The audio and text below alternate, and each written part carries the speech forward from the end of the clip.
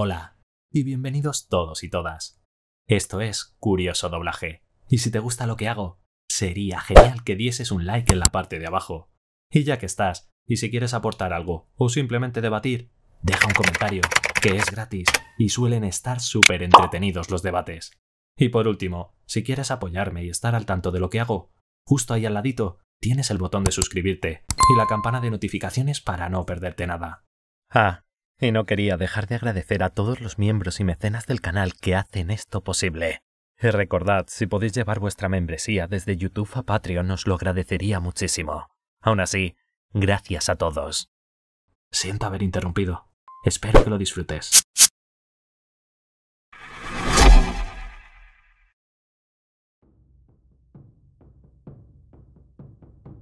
John. Soñó que estaba otra vez en Invernalia y que cojeaba entre los reyes de piedra sentados en sus tronos. Sus ojos de granito gris se movían para seguirlo a medida que avanzaba. Sus dedos de granito se apretaban en torno a los pomos de las espadas oxidadas que tenían en el regazo. No eres un Stark, les oía murmurar con sus roncas voces de granito. Aquí no hay lugar para ti. Márchate. Padre, llamó internándose en la oscuridad. Bran, Ricón. Nadie respondió. Una brisa helada le soplaba alrededor del cuello. Tío, llamó. Tío Benjen, padre, por favor, padre, ayúdame. Arriba se oían tambores.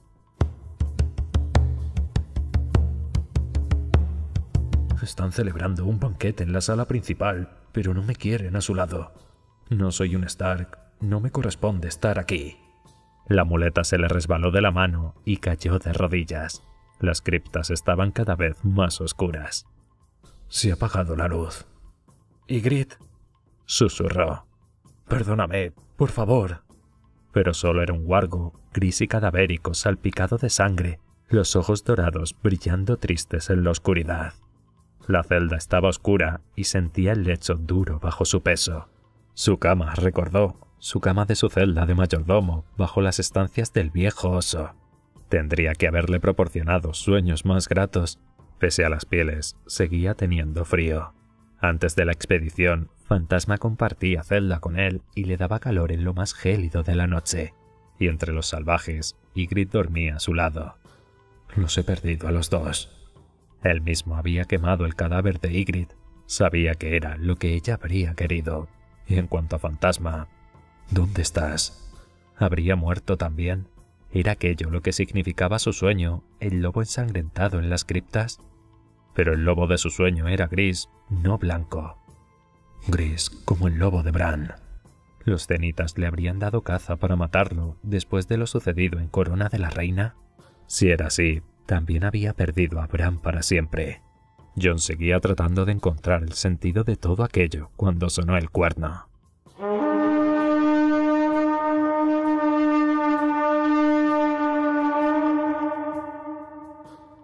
El cuerno del invierno, pensó, todavía adormilado y confuso. Pero Mans no había llegado a encontrar el cuerno de Joramon, de modo que no podía tratarse de aquello. Sonó una segunda llamada, tan larga y grave como la primera.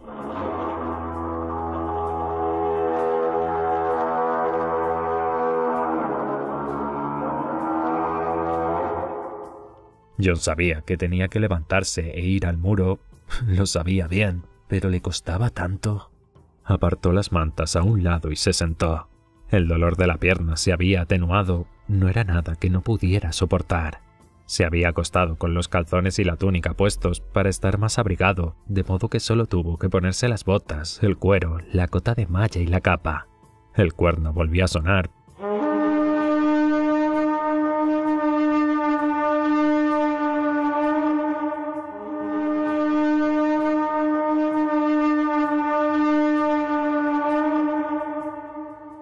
llamadas largas, de modo que se colgó a garra del hombro, tanteó en busca de la muleta y cogió escaleras abajo. En el exterior era noche cerrada, el cielo estaba nublado y hacía frío gélido.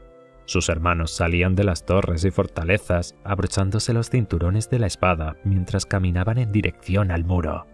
John buscó a Pip y a Gren con la mirada, pero no los encontró.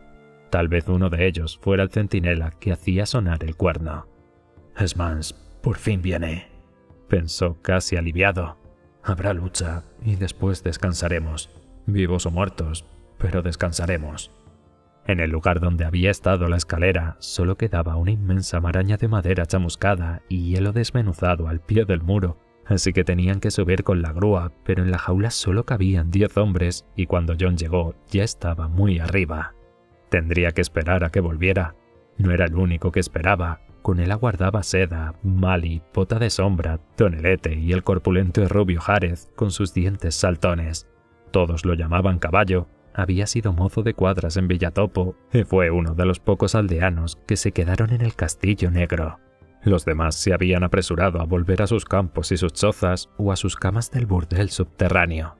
En cambio, Caballo, el muy idiota, con aquellos dientes inmensos, había preferido vestir el negro. También se quedó Sei, la prostituta que se había mostrado tan hábil con la ballesta, y Noye había cogido a tres niños huérfanos cuyo padre había muerto en la escalera. Eran muy pequeños, de nueve, ocho y cinco años, pero por lo visto nadie más los quería. Mientras aguardaban el regreso de la jaula, Clidas les llevó tazones de vino especiado caliente y Job tres dedos repartió pedazos de pan moreno. John cogió el suyo y lo empezó a mordisquear. ¿Es más Ryder? Preguntó Seda con ansiedad. Eso esperamos. En la oscuridad acechaban cosas mucho peores que los salvajes. John recordó lo que le había dicho el rey de los salvajes en el puño de los primeros hombres en medio de la nieve teñida de rojo.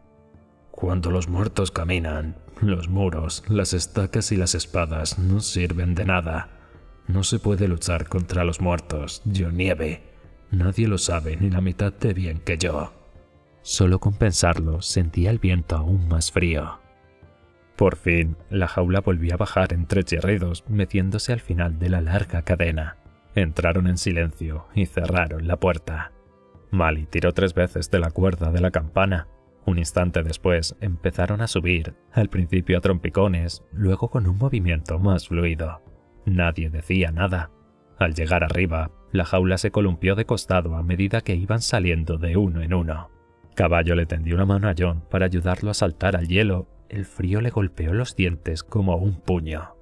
En la parte superior del muro ardía una hilera de hogueras en cubos de hierro situados sobre pértigas más altas que un hombre. El cuchillo helado del viento sacudía y agitaba las llamas de manera que la luz anaranjada no dejaba de cambiar. Tenían una provisión abundante de haces de flechas, ballestas, lanzas y proyectiles para el escorpión. Las rocas estaban apiladas en montones de cinco varas de altura y a su lado había enormes barriles de madera llenos de brea y aceite de lámpara. Bobo en más había dejado el castillo negro bien provisto de todo excepto de hombres. El viento azotaba las capas negras de los centinelas espantapájaros que se erguían a lo largo del baluarte con lanzas en las manos. Espero que no haya sido uno de esos el que ha hecho sonar el cuerno, le dijo John a Donald Noye cuando se acercó a él cojeando. ¿Oyes eso? preguntó Noye. Les llegaban el sonido del viento, los relinchos de los caballos y algo más. Un mamut, dijo John. Eso ha sido un mamut. El aliento del herrero se le convertía en escarcha bajo la nariz ancha y aplastada. El norte del muro era un mar de oscuridad que parecía extenderse hasta el infinito. John divisaba el tenue brillo rojo de los fuegos lejanos que se movían por el bosque. Era Mans, no cabía duda. Los otros no encendían antorchas. ¿Cómo lucharemos contra ellos si no podemos ver? preguntó Caballo. Donald Noyes se volvió hacia los dos gigantescos trabuquetes que había conseguido reparar Bobo en Mars. ¡Necesito luz! rugió. A toda prisa cargaron barriles de brea en las palas y les prendieron fuego con una antorcha. El viento avivó las llamas, que pronto crepitaron vigorosas con furia roja. ¡Ya! rugió Noye. Los contrapesos cayeron de golpe y los brazos del trabuquete golpearon las amortiguaciones de las traviesas. La brea ardiente voló por la oscuridad y proyectó sobre el terreno una luz parpadeante y espectral. Durante un instante, John atisbó los mamuts que se movían con pesadez en la penumbra y enseguida desaparecieron de nuevo. Hay una docena, puede que más. Los barriles chocaron contra el suelo y estallaron. Un mamut barritó, un sonido grave que retumbaba y un gigante rugió algo en la antigua lengua con una voz que era como un trueno. John sintió que un escalofrío le recorría la espalda. ¡Otra vez! gritó Noye y los trabuquetes se volvieron a cargar. Otros dos barriles de brea ardiente surcaron la oscuridad para ir a estrellarse entre las filas enemigas. En aquella ocasión, uno fue a dar contra un árbol seco y le prendió fuego al instante. No hay una docena de mamuts, vio John. Hay un centenar. Se acercó al borde del precipicio. Cuidado, pensó. La caída es larga. Alin el Rojo hizo sonar una vez más el cuerno de centinela.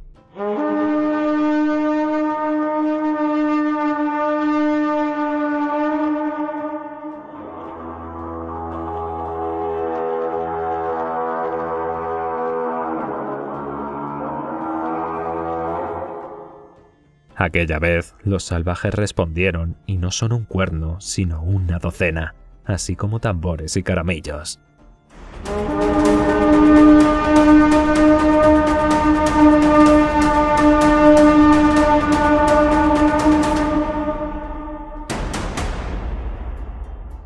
Estamos aquí. Parecía decir, venimos a derribar vuestro muro, a robaros las tierras y raptar a vuestras mujeres. El viento aullaba, los trabuquetes crujían y saltaban, los barriles volaban. Tras los gigantes y los mamuts, John divisó a los hombres que avanzaban hacia el muro con arcos y hachas. Eran veinte o veinte mil. No había manera de saberlo en la oscuridad. Esto es una batalla entre ciegos, pero más tiene unos cuantos millares más que nosotros. ¡La puerta! gritó Pip. ¡Están en la puerta! El muro era demasiado grande para que lo pudieran asaltar por medios convencionales, demasiado alto para escaleras o torres de asalto, demasiado grueso para los arietes. No existía catapulta capaz de lanzar una piedra de tamaño suficiente para abrir una brecha, y si trataban de prenderle fuego, el hielo derretido apagaría las llamas. Era posible escalarlo, como habían hecho los invasores cerca de Guardia Gris, pero había que ser fuerte, ágil y de mano firme, y aún así se corría el riesgo de acabar como Jarl, ensartado en un árbol. Si quieren pasar, tienen que tomar la puerta. Pero la puerta era un túnel zigzagueante que atravesaba el hielo con una entrada más pequeña que la de cualquier castillo de los siete reinos y tan estrecho que los exploradores tenían que llevar los caballos por las riendas y en fila. Tres puertas de hierro cerraban el recorrido del pasadizo, cada una de ellas asegurada con cadenas y protegida por un matacán. La puerta exterior era de roble macizo de un palmo de grosor y con refuerzos de hierro, no les resultaría fácil derribarla. Pero más tiene mamuts, pensó, y gigantes. Ahí abajo debe de hacer mucho frío, dijo Noye. ¿Qué tal si les damos un poco de calor, muchachos? Habían alineado al borde del precipicio una docena de garrafas llenas de aceite para las lámparas. Pip recorrió la hilera con una antorcha en la mano y las fue prendiendo de una en una. Owen el bestia iba detrás de él y las empujaba para precipitarlas por el borde. Las lenguas de fuego amarillo aletearon en torno a las garrafas mientras caían. Cuando perdieron de vista la última, Gren sacó de una patada las cuñas que sujetaban un tonel de brea y lo empujó para que también cayera rodando por el borde. Abajo, los sonidos cambiaron. Pasaron de gritos a alaridos de dolor que les sonaron como música celestial. Pero los tambores siguieron batiendo, y el sonido de las gaitas les llegaba en el aire nocturno como el canto de extraños pájaros salvajes. El Septon Celador también empezó a cantar con voz trémula, trabucada por el viento. Madre gentil, fuente de toda piedad, salva a nuestros hijos de la guerra y la maldad Contén las espadas y las flechas de Ten. Al primero al que se le ocurra detener una flecha, lo tiro del muro de una patada en el culo. Les petó Donald Noye. Empezando por ti, Septon. Arqueros. ¿Dónde cojones están los arqueros? Aquí, dijo Seda. Y aquí, dijo Mali. Pero, ¿cómo vamos a encontrar blancos? Todo está oscuro. ¿Dónde están los enemigos? Dispara muchas flechas dijo Noyes señalando hacia el norte. Alguno encontrarás, y al menos les meterás un poco de miedo en el cuerpo. Dio la vuelta y escudriñó el cuerro de rostros iluminados por el fuego. Necesito dos arqueros y dos lanceros que me ayuden a defender el túnel si consiguen derribar la puerta. Más de diez dieron un paso adelante. El herrero eligió a cuatro. John, el muro está en tus manos hasta que yo vuelva. Durante un momento, John pensó que había oído mal. Parecía como si Noye lo estuviera dejando al mando. ¿Qué has dicho, mi señor? ¿Qué señor ni qué cojones? Soy herrero. He dicho que el muro está en tus manos. Aquí hay hombres mayores. Habría querido responder John. Hay hombres más expertos. Yo todavía estoy tan verde como la hierba del verano. Estoy herido y aún me acusan de deserción. Se le había secado la boca. Sí, consiguió responder. Más adelante, John Nieves se sentiría como si aquella noche lo hubiera soñado. Codo con codo con los soldados de paja, con arcos o ballestas en las manos agarrotadas por el frío, sus arqueros lanzaron un centenar de andanadas de flechas contra hombres a los que en ningún momento llegaron a ver. De cuando en cuando les llegaba como respuesta alguna flecha de los salvajes. Envió a hombres a las catapultas más pequeñas y el aire se llenó de rocas del tamaño del puño de un gigante, pero la oscuridad las engulló igual que él se había podido tragar un puñado de avellanas. Los mamuts barritaban en la oscuridad Voces extrañas gritaban en lenguas más extrañas todavía, y el Septon Celador rezaba en voz tan alta y tan borracho, suplicando que llegara el amanecer, que más de una vez John se sintió tentado de darle el mismo la prometida patada en el culo. Oyeron como un mamut agonizaba al pie del muro y vieron como otros se alejaban estampida por el bosque, arrollando hombres y árboles a su paso. El viento soplaba cada vez más frío. Job subió en la grúa con tazones de sopa de cebolla y Owen y Clidas se los fueron repartiendo a los arqueros para que pudieran beber entre andanada y andanada de flechas. Sei ocupó un lugar entre ellos con su ballesta. Al trabuquete de la derecha se le estropeó algo del mecanismo a causa del exceso de uso y el contrapeso se soltó de repente con resultados catastróficos. El brazo se quebró hacia un lado con un crujido estrepitoso. El trabuquete de la izquierda siguió funcionando, pero los salvajes no tardaron en aprender a evitar el lugar a donde iban a parar sus proyectiles. Deberíamos tener 20 trabuquetes, no dos, y deberíamos estar montados sobre trineos y plataformas giratorias para que pudiéramos moverlos. Eran consideraciones inútiles. Conseguía lo mismo que deseando tener otro millar de hombres y quizá un par de dragones. Donald Noye no regresó, ni tampoco los que habían bajado con él para defender aquel túnel frío y negro. El muro está en mis manos, se recordaba John cada vez que le empezaban a fallar las fuerzas. Él también estaba disparando con el arco. Tenía los dedos rígidos y entumecidos, medio congelados. Volvía a tener fiebre y la pierna le temblaba de manera incontrolable, con lo que el dolor era como un cuchillo al rojo blanco que le recorría el cuerpo. Una flecha más y descansaré, se dijo medio centenar de veces. Solo una flecha más. Siempre que se le vaciaba el carcaj, uno de los topos huérfanos le llevaba a otro. Este carcaj es el último. No puede faltar mucho para el amanecer.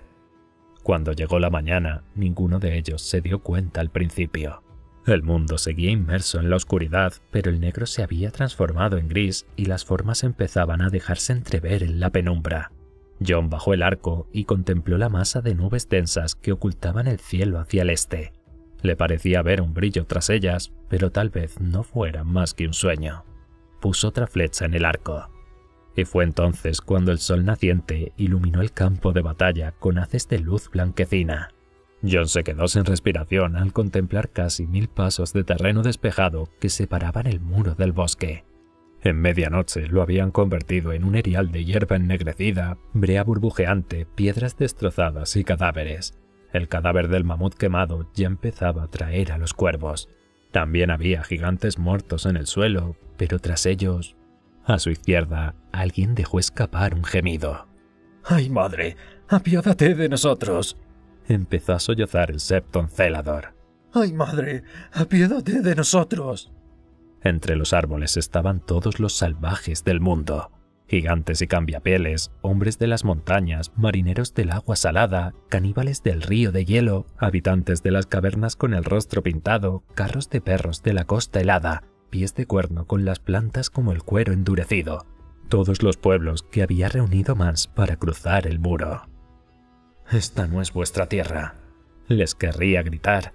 Aquí no hay lugar para vosotros. Marchaos. Imaginó la risa de Tormund Matagigantes si lo oyera. No sabes nada, John Nieve, le habría dicho Ygritte.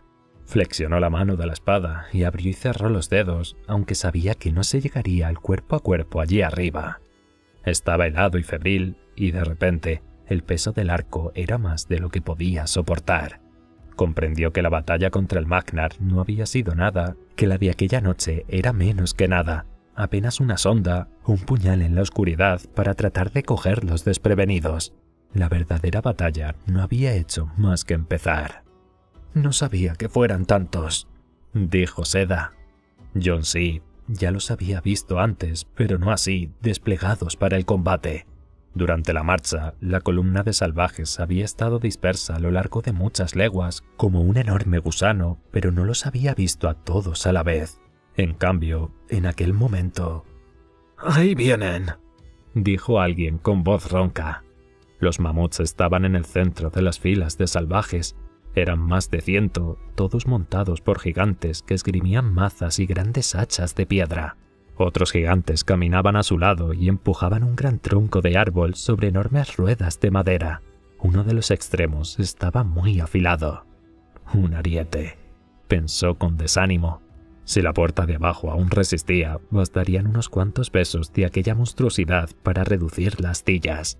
A ambos lados de los gigantes avanzaban los jinetes con arneses de cuero reforzado y lanzas endurecidas al fuego, incontables arqueros y cientos de hombres a pie con arpones, ondas, porras y escudos de cuero.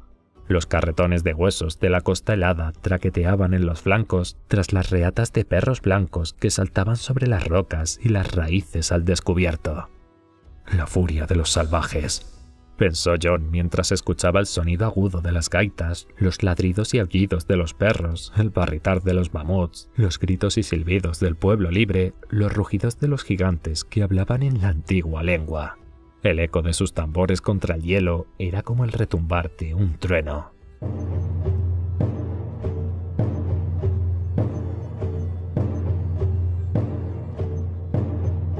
Sintió como a su alrededor los hombres caían en la desesperación. Deben de ser más de cien mil, gimió Seda. ¿Cómo vamos a detener a tantos? El muro los detendrá, se oyó decir John. Dio la vuelta y lo repitió en voz más alta. El muro los detendrá.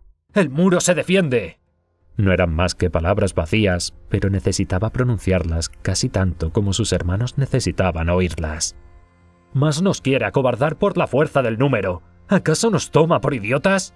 Estaba ya hablando a gritos. Se le había olvidado el dolor de la pierna y todos lo escuchaban. Los carretones, los jinetes, todos esos imbéciles de a pie. ¿Qué nos pueden hacer aquí arriba? ¿Y alguno de vosotros ha visto un mamut trepar por una pared? Se echó a reír y Pip, Owen y otra media docena de hombres rieron con él. No son nada, son aún menos que estos hermanos nuestros de paja. No pueden llegar a nosotros, no pueden hacernos daño y no nos dan miedo. ¿Nos dan miedo? No, gritó Gren. Ellos están ahí abajo y nosotros aquí arriba, siguió John. Y mientras defendamos la puerta, no pueden pasar. No pueden pasar. Para entonces todos gritaban ya, rugían palabras de ánimo, agitaban en el aire las espadas y las ballestas con las mejillas enrojecidas. John vio a Tonelete, que llevaba bajo el brazo el cuerno de batalla. Hermano, le dijo, llama al combate. Tonelete sonrió, se llevó el cuerno a los labios y lo hizo sonar dos veces, dos bramidos largos que indicaban que había salvajes.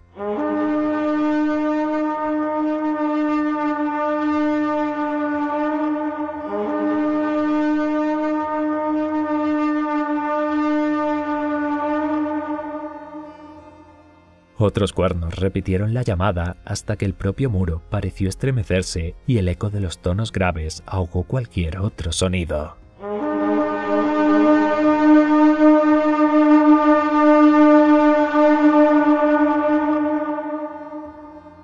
¡Arqueros!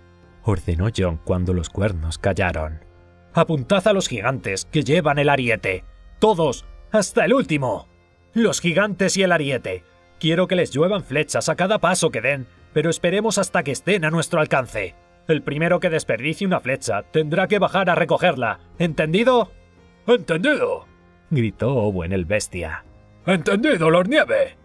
John se echó a reír, se rió como un borracho o como un demente, y sus hombres rieron con él. Se dio cuenta de que los carretones y los jinetes de los flancos iban ya muy por delante de la columna central. Los salvajes no habían recorrido ni una tercera parte de la distancia y su línea de batalla ya se estaba truncando. ¡Cargad el trabuquete grande con abrojos! ordenó John. Owen, tonelete, enfilad los trabuquetes pequeños hacia el centro. Quiero los escorpiones cargados con lanzas incendiarias. Las soltaréis cuando yo diga. Señaló a los niños de Villatopo. Tú, tú y tú, encargaos de las antorchas. Los arqueros salvajes disparaban a medida que avanzaban, corrían un tramo, se detenían, disparaban y adelantaban un poco más. Eran tantos que el aire estaba siempre lleno de flechas. Todas, por supuesto, se quedaban cortas. ¡Qué desperdicio! pensó John. No tienen la menor disciplina. Los pequeños arcos de cuerno y madera del pueblo libre tenían mucho menos alcance que los largos de tejo de la Guardia de la Noche, y los salvajes intentaban disparar contra hombres que estaban a 300 varas sobre ellos. ¡Que disparen lo que quieran! dijo John. Esperad. Aguantad. Las capas les ondeaban a las espaldas. Tenemos el viento en contra. Eso nos resta alcance. Esperad. Más cerca, más cerca. Las gaitas aullaban, los tambores retumbaban, las flechas de los salvajes volaban y caían al suelo. ¡Tensad! John alzó el arco y se llevó la flecha hasta la oreja. Seda hizo lo mismo, así como Gren, Owen el bestia, Bota de sombra, Jack Balboa el negro, Arron y Emric. Sei se puso la ballesta a la altura del hombro. John veía cómo se acercaba el ariete, veía cómo los mamuts y los gigantes lo arrastraban a ambos lados. Eran tan pequeños que parecía como si los pudiera aplastar a todos con una mano. Ojalá tuviera una mano así de grande. Se acercaron por aquella esplanada convertida en matadero. Un centenar de cuervos posados en el cadáver del mamut muerto levantaron el vuelo cuando los salvajes pasaron a ambos lados. Más cerca, cada vez más cerca, hasta que... ¡Disparad! Las flechas negras silbaron mientras descendían como serpientes con alas emplumadas. John no aguardó a ver dónde se clavaban. Tan pronto como hubo soltado la primera flecha, puso la segunda en el arco. ¡Cargad! ¡Tensad! ¡Disparad! En cuanto la flecha voló, buscó la siguiente. ¡Cargad! ¡Tensad! ¡Disparad! Una vez y otra y otra. John ordenó a gritos que entrara en acción el trabuquete y oyó el crujido y el golpe contra el travesaño acolchado cuando un centenar de abrojos con púas de acero salieron volando por el aire. ¡Los trabuquetes pequeños! ordenó. ¡Los escorpiones! ¡Arqueros! ¡Disparad a voluntad! Las flechas de los salvajes empezaban ya a golpear el muro a 40 varas por debajo de ellos. Un segundo gigante se giró y se tambaleó. Cargad, tensad, disparad. Un mamut se volvió contra el que tenía al lado y los gigantes cayeron rodando por el suelo. Cargad, tensad, disparad. Vio que el ariete estaba en el suelo, inútil, y que los gigantes que lo transportaban yacían muertos o moribundos. ¡Flechas de fuego! gritó. Quiero ver cómo arde ese ariete. Los bramidos de los mamuts heridos y los gritos atronadores de los gigantes se mezclaban con los tambores y los caramillos para componer una música horrenda, pero sus arqueros seguían tensando y disparando como si todos se hubieran quedado de repente tan sordos como el difunto Dick Vollard. Tal vez fuera la escoria de la orden, pero seguían siendo hombres de la guardia de la noche, o casi, no importaba. Por eso es por lo que no podrán pasar. Uno de los mamuts había enloquecido y en su estampida aplastaba a los salvajes con el cuerpo o los destrozaba bajo las patas. John volvió a levantar el arco y clavó otra flecha en el lomo peludo de la bestia para azuzarlo todavía más. Hacia el este y el oeste, las líneas del ejército salvaje habían llegado al muro sin encontrar oposición. Los carros llegaban o daban vueltas mientras los jinetes se agrupaban sin objetivo bajo el imponente acantilado de hielo. ¡En la puerta! Le llegó el grito, tal vez fuera bota de sobra. ¡Mamut en la puerta! ¡Fuego! rugió John. ¡Gren Pip! Gren tiró el arco a un lado, tumbó de costado un barril de aceite y lo hizo rodar hasta el borde del muro, donde Pip partió a martillazos la clavija que lo cerraba metió en el agujero un trapo y le prendió fuego con una antorcha. Entre los dos lo empujaron para que cayera. Cuarenta varas más abajo chocó contra un saliente y estalló, y el aire se llenó de duelas destrozadas y aceite ardiendo. Para entonces, Gren ya estaba empujando hacia el borde un segundo barril, igual que Tonelete. Pip encendió los dos. ¡Le ha dado! gritó Seda. Estaba tan asomado por el borde que durante un momento John dio por seguro que se iba a caer. ¡Le ha dado! ¡Le ha dado! ¡Le ha dado! Le llegó el rugido del fuego y vio un gigante envuelto en llamas que se tambaleaba y rodaba por el suelo. De repente, los mamuts huían en estampida para escapar del humo y las llamas, presas del pánico, aplastando a todos los que tenían detrás. Se vieron obligados a retroceder. Gigantes y salvajes emprendieron la huida para apartarse de su camino. En un instante, todo el centro de su columna se derrumbaba.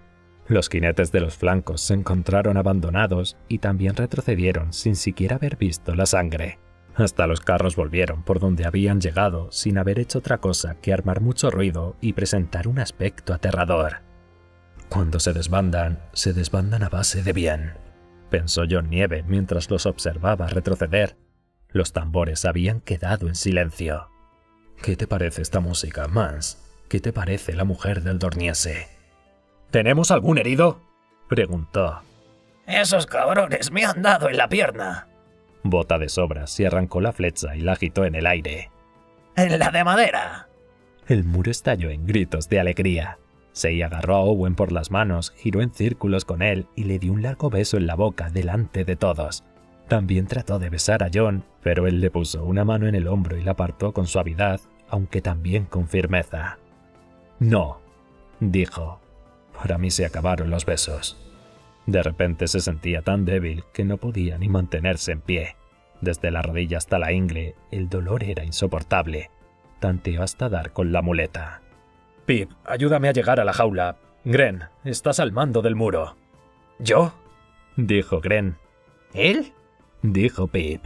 Habría sido difícil decidir cuál de los dos parecía más horrorizado. Pero...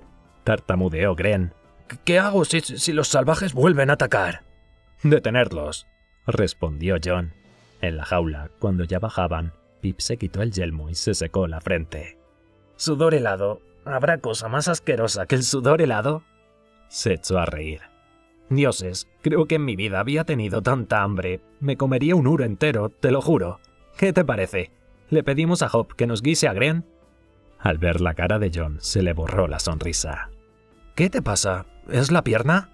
La pierna, asintió John. Hasta hablar le costaba un gran esfuerzo. Pero no la batalla, ¿verdad? Hemos ganado. Eso lo hablaremos cuando veamos la puerta, dijo John con tono sombrío. Quiero un fuego, una comida caliente, una cama abrigada y algo para que la pierna me deje de doler. Pensó, pero antes tenía que examinar el túnel y averiguar qué había sido de Donald Noye. Tras la batalla con los cenitas, habían tardado casi todo un día en despejar de hielo y vigas rotas la puerta interior.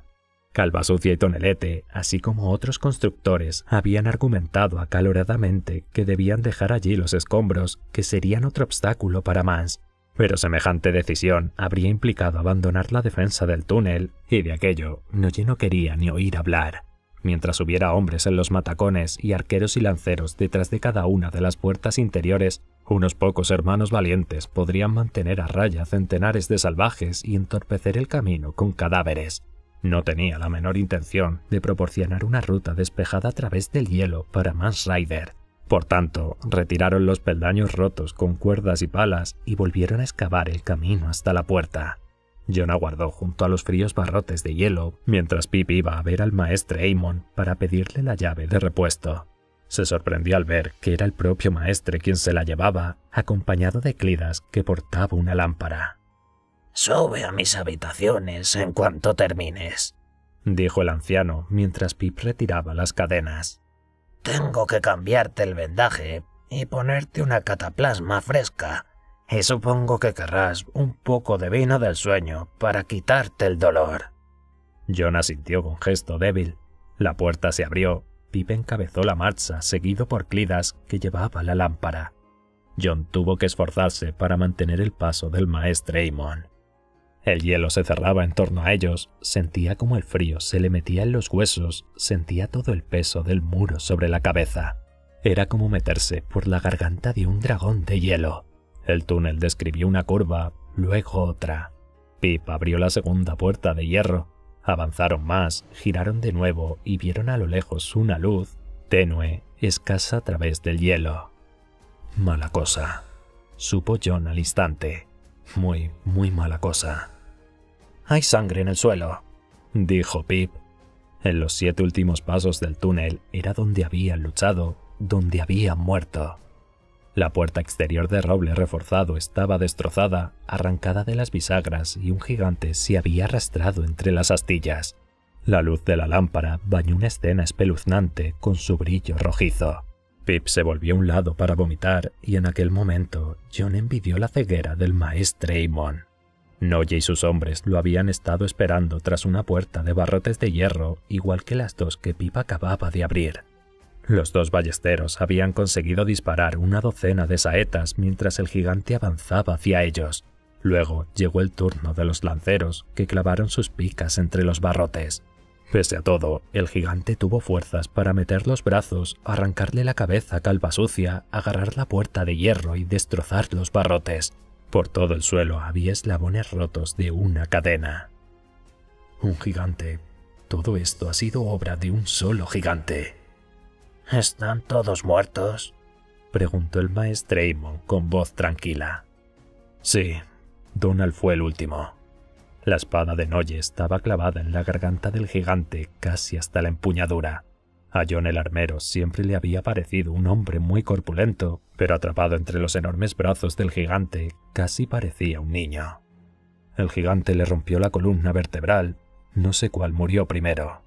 Cogió la lámpara y se adelantó para ver más. Mac. Soy el último de los gigantes, recordó con tristeza, pero no había tiempo para lamentos. Era Mac el poderoso, el rey de los gigantes. Necesitaba ya la luz del sol. Dentro del túnel hacía demasiado frío, estaba demasiado oscuro y el hedor de la sangre y la muerte era asfixiante. John le devolvió la lámpara a Clidas, rodeó como pudo los cadáveres, cruzó entre los barrotes retorcidos y caminó hacia la luz del día que se divisaba más allá de la puerta destrozada. El imponente corpachón de un mamut muerto bloqueaba el camino parcialmente. Uno de los colmillos de la bestia se le enganchó en la capa y le hizo un desgarrón al pasar. En el exterior había otros tres gigantes muertos, medio enterrados en piedras, légamo y brea endurecida. Vio el punto donde el fuego había derretido el muro, donde grandes planchas de hielo se habían desprendido por el calor para ir a estrellarse contra el terreno ennegrecido. Alzó la vista para contemplar el lugar de donde había bajado. Desde aquí parece inmenso, como si estuviera a punto de aplastar al que lo mira. John regresó donde lo aguardaban los demás. Tenemos que reparar la puerta exterior lo mejor que podamos y bloquear esta sección del túnel, con cascotes, con trozos de hielo, con lo que sea, hasta la segunda puerta si es posible. Sir Winton tendrá que tomar el mando, es el último caballero que queda, pero es imprescindible que se ponga en marcha ya. Los gigantes volverán antes de que nos demos cuenta. Tenemos que decirle... Le puedes decir lo que quieras, lo interrumpió el maestro Amon con suavidad. Sonreirá, asentirá y se le olvidará el momento.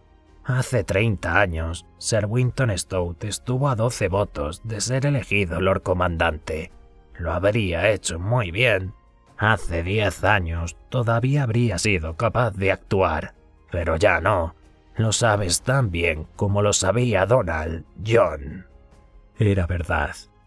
Entonces, vos estáis al mando le dijo John al maestre. Lleváis toda la vida en el muro, los hombres os seguirán. Tenemos que cerrar la puerta. Soy un maestre, llevo la cadena, hice el juramento. Mi orden sirve, John.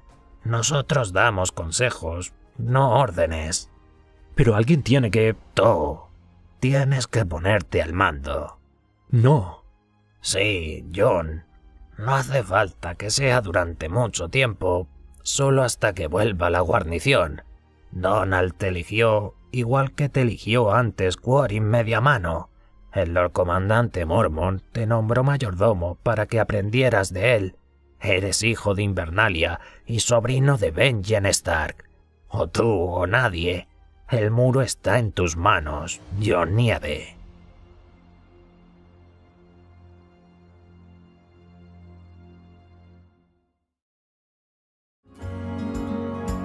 Gracias a todos.